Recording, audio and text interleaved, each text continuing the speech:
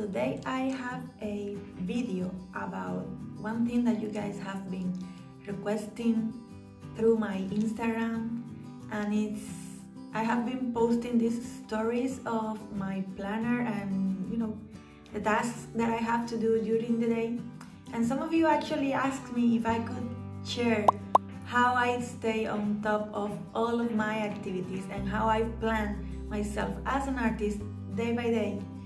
So I thought that, yeah, there's a cool idea for a video if you guys want to know about this. I am more than willing to share what works for me. I do want to make clear that these are things that obviously are my personal choice when it comes to organizing, but I will share them with you and if they work for you, let me know because that would be really cool. If you are new here, welcome. If not, welcome back. I am Chelsy Escalona, I'm a digital artist. I'm living in Berlin and I'm sharing my journey here on YouTube. So, let's start with the video now.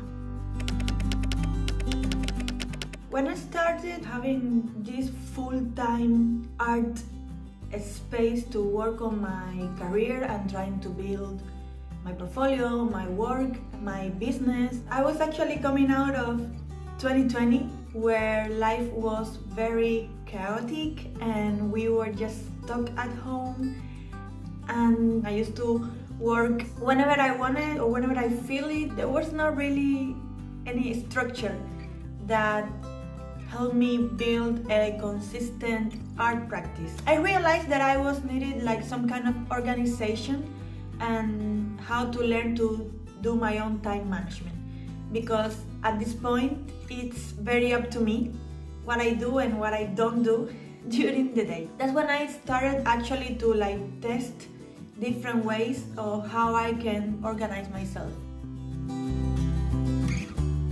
The first thing that actually made a difference for me was having a physical planner instead of a digital one.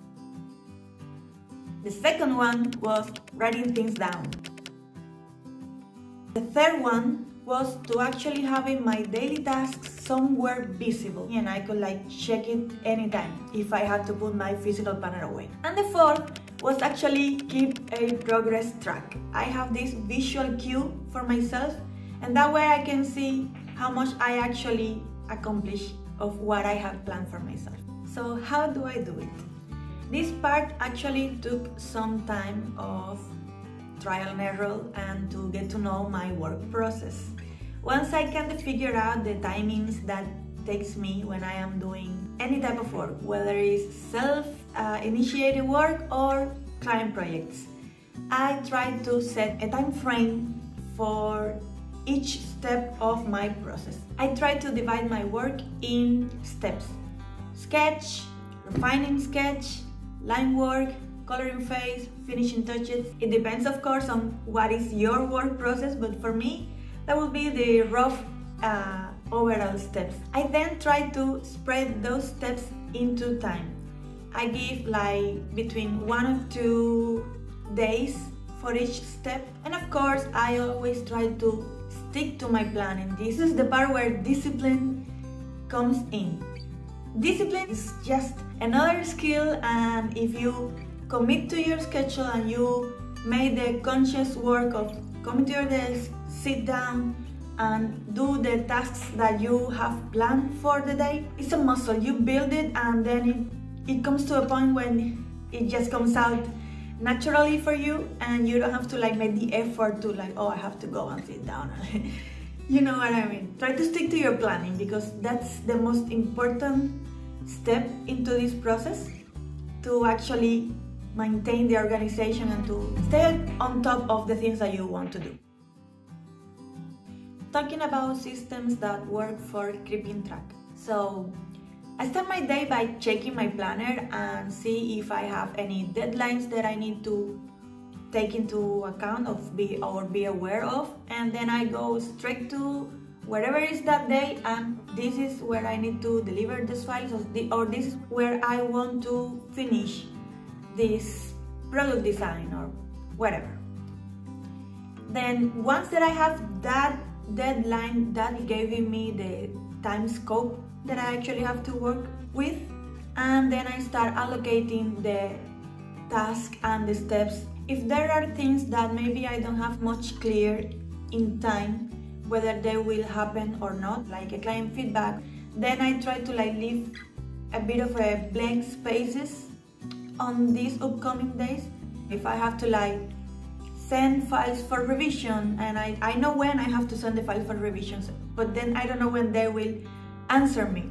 So I try to keep those days open and then you can like keep planning based on what you actually will need to do. This is of course talking about client projects. If it is self-initiated, then you don't really have this problem. I find out that it was easier for me to write things down so that I can remember the things that I was needing to do. Then after I have all, all of my task list spread in my planner and by day, I go and check in the day that I am working what is the task that I feel it will be if I don't feel for instance, like work, like in a very work mood that day, maybe I start with an easy one that will smooth my progress into getting that work mood during the day. I know that my mind will be in a better headspace to actually keep carrying on with the, the rest of my list. And this actually helps me a lot to see the progress that I am making especially when you have a long list of to-dos. One thing that I actually like when I finish with each task is to highlight it with a marker. I just got, you know, a couple of standard highlighters that they help me keep a visual tracking of the things that I have done and the things that I have still have left to do. For this, I actually made up with this color system that works for myself where yellow will be a completed task, orange will be that I did not do that or that I did not complete it. Pink is actually that it was moved for the future and green is that it was cancelled, like I don't have to do this anymore. With that visual key, I know how much I made progress in a day, how much I have still left to do, if I have pendings from days before. So it's, I'm a visual person, so visual keys are like, like important for me. Maybe you, if you are an artist and you are also a visual person, maybe these things will can, I mean, will help you too. You just need to come up with your own code system like I did. The one thing that I actually like to do is to keep my planner open next to me with those to-dos list. Because like that I don't have to like stop my workflow. If I finish one thing I go and it's right next to me and I just highlight it and I can keep going to my tablet without having to like having to like make too much movement and break the momentum in my work process. And at the end of the day I simply check if I was able to complete all of my tasks and the things that I plan for myself if I am too tired because this also helps me to understand my energy levels and this helps me to do that to like see if I just okay I, I plan too much I try to do too much today and I am exhausted and then maybe the next day I won't be able to perform as well as I did this day. These things also help me to get to know myself and how I work and how much I can actually accomplish during the day. And yeah, when the day is over and I get all of these tasks that I wanted to do, I close my planner until the next day, guys. So when it comes to know how much I can actually accomplish during the week, this is a process that takes time where you need to observe yourself and take mental notes of how do you feel during the week, uh, during the day, during the night, whenever is the best times that works for you uh, and you feel more creative or functional. In my case, I have learned that my energy levels are actually higher during the day and I am most productive in the morning and at a brief window in the afternoon. So with time, I have learned what are my energy levels during the week and when I am most productive. Therefore, I have set specific days in each week during the month for maybe some constants to do or tasks that I need to do like editing the videos or like reply emails or create stuff kind of like that. And Mondays and Tuesdays are my most productive days creatively speaking. It's when I make the most progress and I'm the fastest and I don't feel tired or anything. Then Wednesdays are kind of like my check-in days. Is where I see how I feel, what I still have left to do from the things that I wanted to do during the week and try to like plan the rest of the week based on how I feel and what I still have left to do. Thursdays is, is the day that I actually reserve for filming YouTube videos, editing and handle pretty much every YouTube stuff. Usually when Friday comes, I try to like keep it very minimum, mainly admin tasks, stuff that they do not demand that much from me so that I can actually like get all my stuff done in the week. And like I say on the weekends, I try to not work at all. Even when I have client projects, I try to stop during the weekends because your brain needs to stop, your body needs to stop. It's time for anything else but to do work or think about work. Reset, get your brain and your body time to get bored and trust me you will come back with better energy when it comes to Monday and you will have the desire to sit down on your desk and do the things that you want to do or need to do. At least for me it works that way and yeah I'm trying to keep it even when I am working on client projects. So when it came to creating a routine and keeping habits, for me, you can totally see that this was not happening from day to night. It actually took me years to trying and seeing what works for me and what did not work for me. Even so, this year, I still want to learn to be more gentle with my time.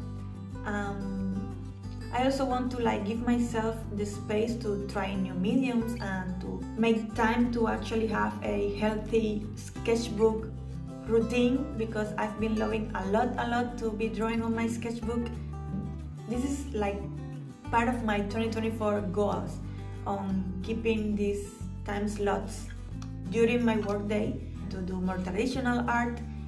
So this is when having time to rest it comes, comes in and it's super important especially if you want to like keep doing this and building an art practice that lasts you for years you actually need to schedule time to rest and to learn how to unwind and to have leisure time. This is how you will avoid or minimize um, burned out. I wanted to like make this special part of the video about even though I have been kind of already talking in the other points but yeah I wanted to like really really say here how important it is to schedule resting times how important it is to stick to your work schedule wherever that is because when you actually prioritize these resting times you give yourself time to be bored and your